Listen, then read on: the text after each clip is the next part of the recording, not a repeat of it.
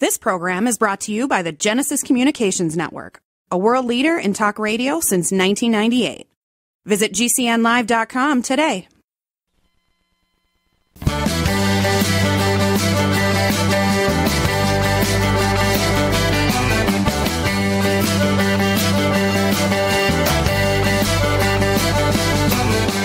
Broadcasting and streaming live all across America. This is Home Talk USA with Michael King, where we will discuss topics pertaining to your home with industry leading experts. Michael King is a licensed general contractor with more than 30 years of experience in home improvements and the author of Contracting with the King.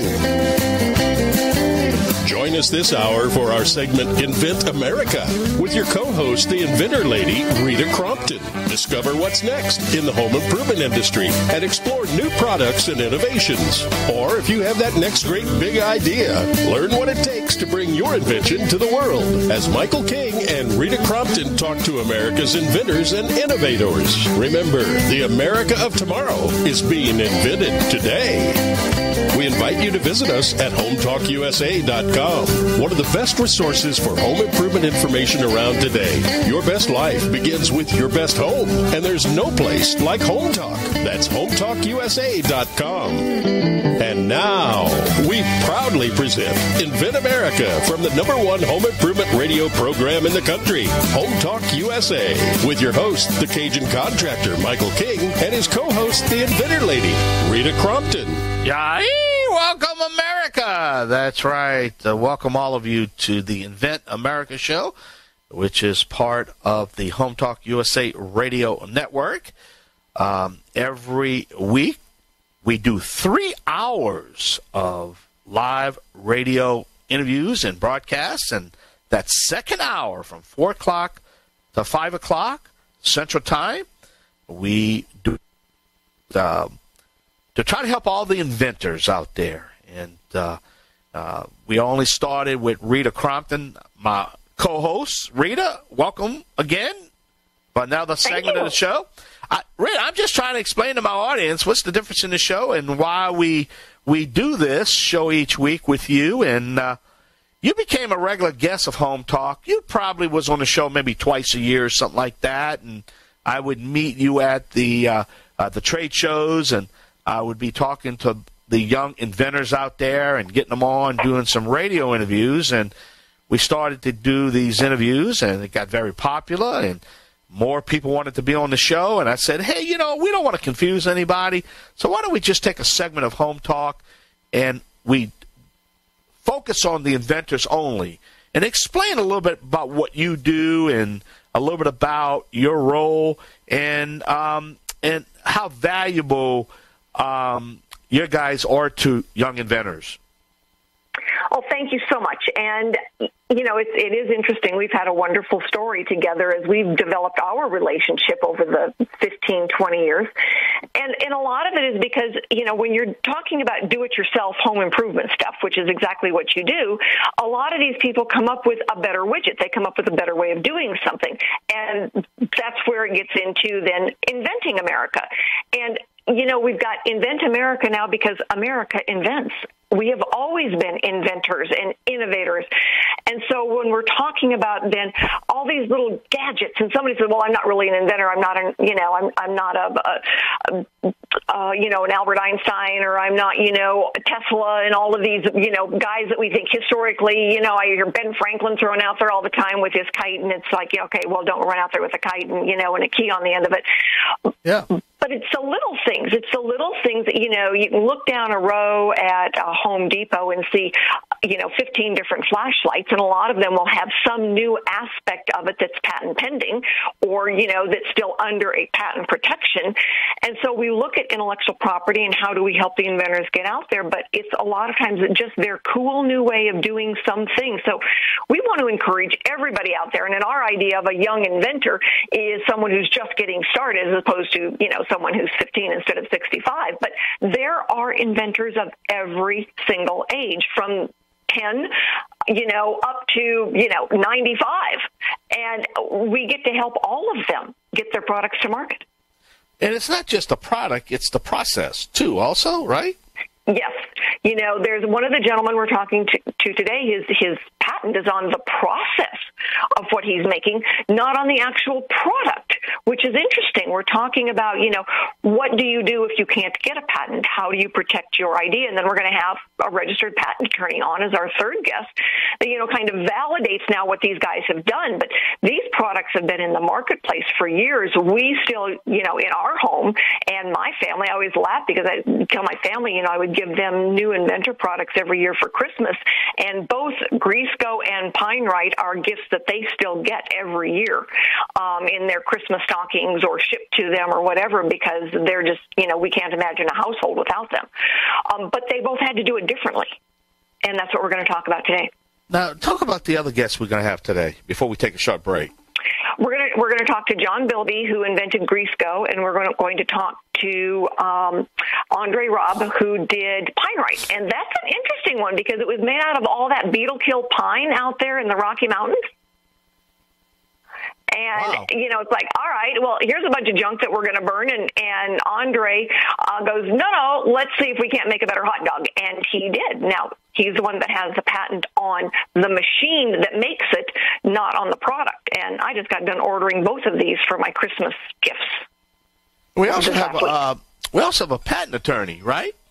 Exactly. And Jonathan David is a patent attorney um, out of the Chicago area. Uh, he's done several patents for inventors that have come to me and said, Rita, can you help me? Um, and he's, he's, he's very good at working with the inventors and helping them see a, a bigger picture of what they can do. So, you know, I've been working with him now for a couple of years and, uh, you know, my, my inventors enjoy working with him because he'll keep them on track. Um, you know, you don't need to talk about the weather when you're on the phone with the attorney. It's billable time. So he was very good at keeping them on track and focused and then getting their patents issued, Uh, which is a big deal. I also want my audience to know that uh, next week uh, um, we didn't have a uh, show planned, and then I was looking at the schedule, and of course I woke up and said we can do a show, so we're also going to have a show next week, right? We are going to have a show next week, and Right. it's going to be dedicated to how the service providers, because every inventor needs to use a you know pool of service providers. How do we pick the good ones, and how do those service providers help our inventors then? Um, and so that's what we're going to be talking about. And then I think that's going to be our last show for the year, right? And then we're going to come back uh, the second Monday um, of the new year, right? Absolutely. Yep. And then that way we're going to do a best of, and you're going to pick some shows. I'm going to pick some shows, and uh, some of the best of uh, what we talked about for the what the last three months, and uh, and uh, do a recap. You know, so that's pretty much what we got lined up right now, right? It's, I can't believe we've been doing this for three months, and Yeah. um, you know we have gotten a really good rhythm going for our inventors and helping Yeah. you know everybody out there say, "Oh, I've got an idea." So we're going to talk about that as our New Year's resolution that first Monday back. You know, get every you've been sitting on an idea, do your New Year's New Year's resolution, get it out there. And then I think at the end of January we have the trade show, the uh, International Builders Show, uh, the Hardware Show, the Kitchen and Bath Show. Um, all three shows combined together in Las Vegas, right? I think it's at the end of January. It starts quarter. January January 31st, February 1st and 2nd. And if you are out there and you are patent pending and you've got proof of concept prototypes and are thinking about going, now is the time to call me and say, Rita, I need one of those spots because I've still got about a half a dozen spots left. Well, I tell you, uh, Rita, we got um, a great uh, lineup this hour, and uh, um, we're going to take a short break. But tell our audience who's going to be our first guest when we come back off a break. John Bilby is our first guest. He is the inventor of GreasGo. GreasGo, what they do? What, what they- is a cleaning product that is made out of the spices in your kitchen. We could actually spritz it on a salad if we want to. wow, now that is very, very innovative. It is. It is really awesome. I've, I've sprayed it on my hand and licked it off before, and then cleaned red wine out of a white carpet. So it works very, very well. It's amazing the topics we talk here each week and every week. Man, It you. is. And especially me also being a Cajun chef, you know, I'm going to be really paying attention to this interview, you know. You should try this one. Yeah. Yeah. I'll send you some my- for Christmas. I can put it in my food and clean the counter at the same. Look at the money I'm saving. Oh wow! I know, right? All right, Rita Crompton, the ventilator, ventilady. This is the Cajun contractor, Michael King. Don't forget, we are streaming live on the World Wide Web at HometalkUSA.com. That's HometalkUSA.com. All right, we're going to take a short break. We're going to be right back.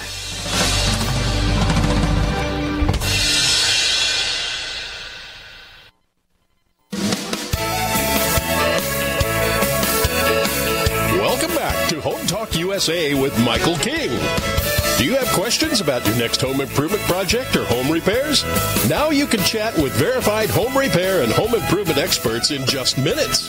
Get the help you need by visiting HometalkUSA.com. One of the best resources for home improvement information around today. Your best life begins with your best home, and there's no place like Home Talk. That's HometalkUSA.com. And now, back to Invent America from the number one home improvement radio program in the country. Home Talk USA with your host, the Cajun contractor Michael King, and his co host, the inventor lady, Rita Crompton. All right, we do invite all of you to check out our podcast. That's right. Uh, the Invent America show is available on the Home Talk USA Radio Network website at hometalkusa.com.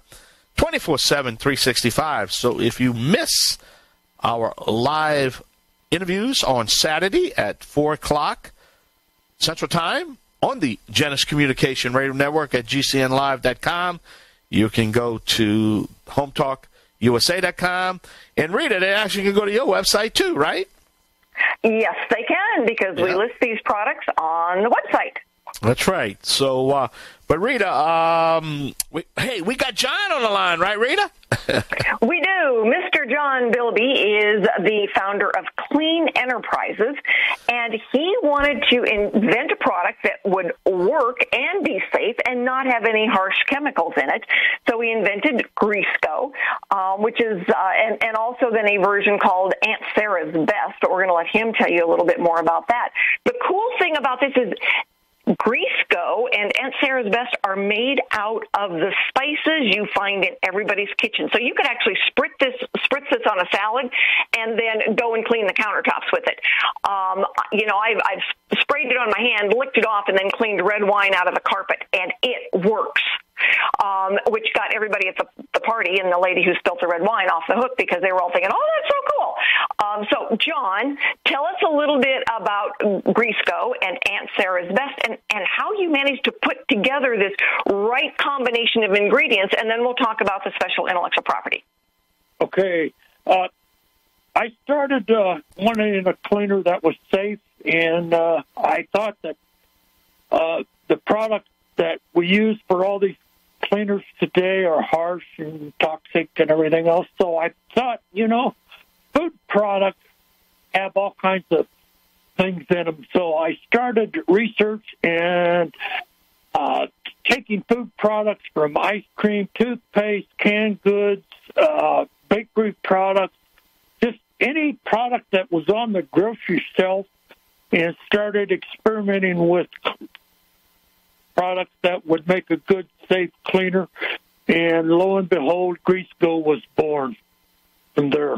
So uh, it is a food safe product, uh, biodegradable, non toxic, uh, non flammable. uh, I even uh, spray my hand and lick it. Yeah, and, and I have too, multiple times, um, just to just to prove a point, and um, then cleaned up a big mess. So the cool thing about it is, you know, and what we're talking about today is the, you know, it's not a traditional patent type of application. What John used was a trade secret. And so you want to explain a little bit about that? You've got a great trademark and a trade secret. Uh, yes, uh, I talked to an attorney about this, and he's he he recommended that I write down all my formulations, put them in a, separate envelope, each one, and seal it uh, real well. So I take my formulation, I write it down, I stick it in an envelope, and on the back where the lip is sealed down, I take a pin and make a squiggly mark all along the edge, and then take packing tape and put over that so it it's really hard to get into, and could, it's almost tamper proof. And then I send it to myself, and when I receive it back, I put it in a uh, a safe. Uh, even if someone gets to it, uh, you know they got to break the seal. So as long as the seal has not been broken, it goes to court. You just take your letter, hand it to the judge, and he sees it sealed up. It's dated, it's postmarked, and so nobody else knows the secret formulation. So by so, doing this, it's kind yeah. of in the same category as Coca-Cola. I mean, they always laugh that that was a you know a secret formula, mm-hmm. and right. so there there's actually a lot of things out there that have gone based on trade secrets. So, you know, you might have one entity make one part of it, another entity make another part of it, and another entity is what put, puts them all together and packages them. And then there's, you know, when you are doing it all yourself, you, you know, you've got to keep track of that formula and keep it a secret. Exactly. Yes. So that's what I do. Yeah. There's, uh, you know, the, there's a lot of trade secrets out there. Krispy, Krispy Kreme donuts is a trade secret. Twinkies, WD forty, Listerine, Coca Cola. Uh, yep. So you know, there's a lot of trade secrets. Hey, we can't forget. We, hey, we can't forget about the Colonel, man. Can't forget about the Colonel. That's hey. right. The, yeah, KFC. He's right at the top. Is yeah. They've been you trying know, to steal it. And I think somebody told me the other day there's only three people that actually know today the re- the the whole recipe. There's still like three people. They had they interviewed somebody, and it's like right. only three people that's, that know the whole the whole recipe. But oh, they got that thing right. in uh, lock and guard, man. you bet. Yeah, that's the way mine is. I'm the only one that knows the formulas. Uh, I and like I said, I I keep them in the you know in the safe, and uh, you know, the attorney says there's no judge that would turn that away. So. Yeah, you're you're exactly right. And when you've got to keep a trade secret, anything that is a recipe has got to be kept as a trade secret. Is kind of the, the rule of thumb in intellectual property world. Right, right, and and there's would probably go to other applications as well. The the one that we see that runs up against that is um, the the formulas for a, a, a, computer application. You know, the apps and um, right. the algorithms; those are considered like recipes, and so they're right. kept as trade secrets. Right. Sure. So yes. Right. And that's uh, you know I do all I have about twenty or so envelopes down there. It's all sealed and. John, we're, yeah. we're, out of, we're out of time, my buddy. I definitely want to thank you, and Rita wants to thank you for being our guest. Give us that website. How can we learn more about GreasGo? Uh, www.greasgo.com. And there's no E in Grease. It's G R E A S G O. Dot com. Great. Well, John, right. I definitely yeah. want to thank you for being our guest, man, and drop me and Rita a line and keep us up for how you doing, okay? I sure will. Thank you so much. Glad got to talk it. with you. All okay. right. That was John uh, Bilby. John Bilby with GreasGo. Check him out. GreasGo.com. That's G R E A S G O.com. All right, Rita, we're going to take a short break. Got to pay some bills here, right? Yes, sir. We certainly do. When we come back, who's going to be our guest? Jonathan David, a registered patent attorney, and he's going to talk about some of those other options.